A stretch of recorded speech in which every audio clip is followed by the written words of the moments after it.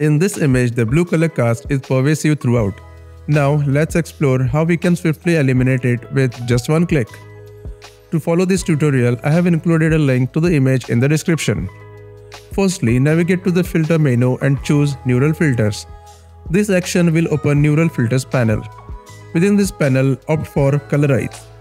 As evident, this option effectively eliminates the color cast from the image. To preserve this output, proceed to the output drop-down, select new layer and then click OK.